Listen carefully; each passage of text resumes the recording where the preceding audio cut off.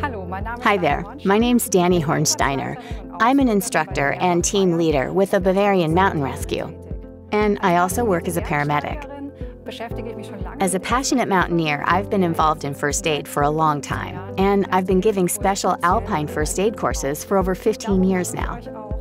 That's why I want to show you what a good first aid kit should contain and what you should look for when you're buying one. As a general rule, every backpack needs a first aid kit.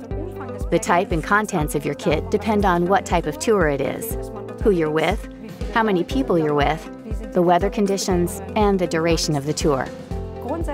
When buying a first aid kit, size and weight play a key role, and its contents are just as important.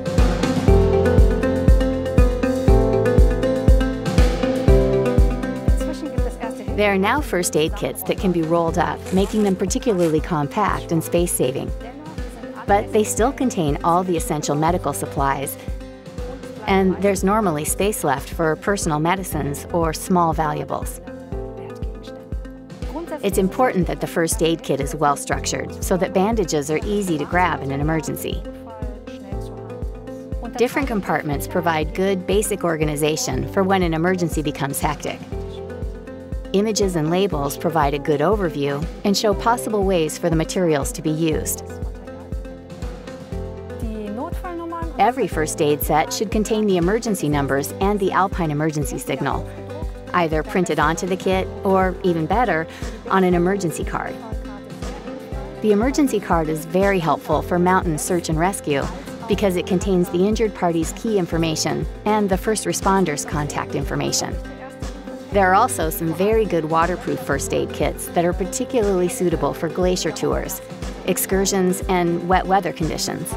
They come in a roll top bag that keeps the contents especially well protected. The contents are well laid out and wrapped in a protective foil, showing descriptions of possible uses. If you want something even more special, you should go for a sport specific first aid kit. The Rock Doc has been specially developed for climbers and comprises a chalk bag and a first aid kit.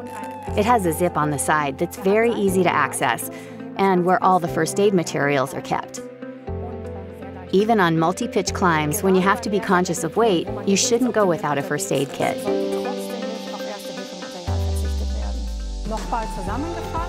In short, a first aid kit should contain adequate equipment, be well laid out, easily accessible. It should contain care instructions, and it should come in a signal color that makes it easy to find in your backpack.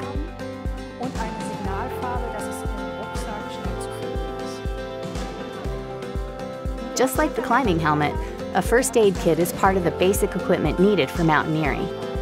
Participating in a sport specific first aid course and practicing with the contents of the first aid kit are of utmost importance and can save lives in an emergency. Happy trails!